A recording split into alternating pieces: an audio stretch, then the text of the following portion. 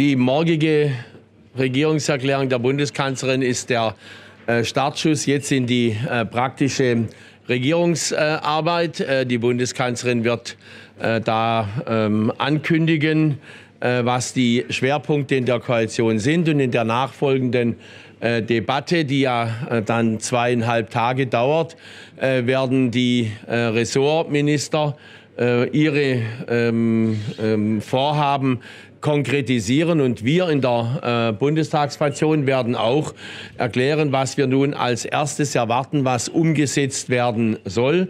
Äh, ganz klar ist, äh, die erste äh, große äh, Maßnahme wird der Bundeshaushalt 2018 sein. Der wird ähm, ähm, gleich Anfang Mai im Bundeskabinett äh, verabschiedet und wird dann ähm, äh, in einer konzentrierten Arbeit äh, vor der äh, Sommerpause in zweiter und dritter Lesung im Deutschen Bundestag beschlossen, weil er ist die Grundlage für eine ganze Reihe von äh, Programmen und Vorhaben, die wir umsetzen wollen.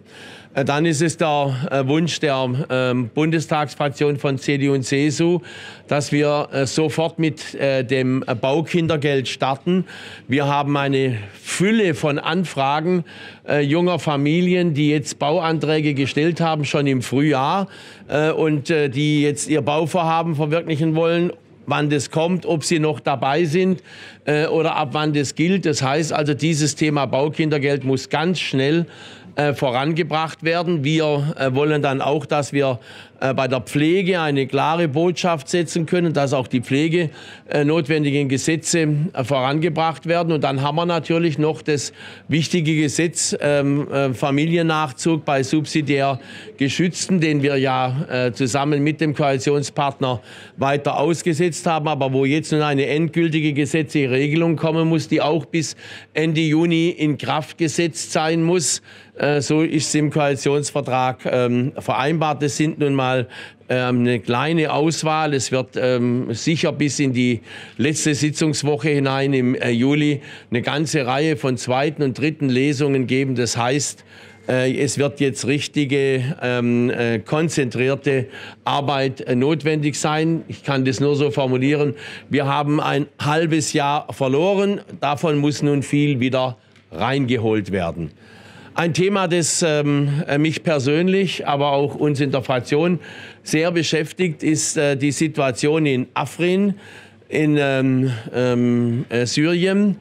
Und ähm, wenn ich dort lese, wenn ich lese, auch von Augenzeugen, Ärzten, die dort arbeiten, was da im Augenblick in dieser Stadt passiert, ist man entsetzt, äh, dass ähm, äh, die äh, Türkei äh, ihre ähm, Truppen, äh, islamistische Truppen äh, dort äh, durch die Stadt marodieren lässt, dass dort äh, Plünderungen ähm, äh, schlimmsten Ausmaßes stattfinden äh, und dass ähm, gesagt wird, das sei ein klarer Verstoß gegen die Menschenrechte, ein Vorwurf an ein NATO-Mitglied, das wirklich ein Vorwurf, der wirklich hart ist.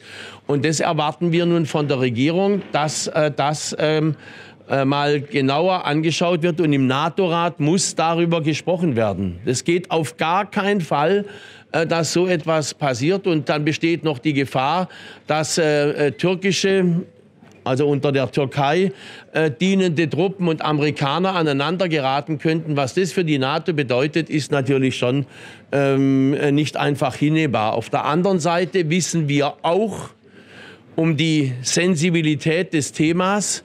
Wir haben kein Interesse daran, dass die Türkei ähm, äh, sich von der NATO verabschiedet.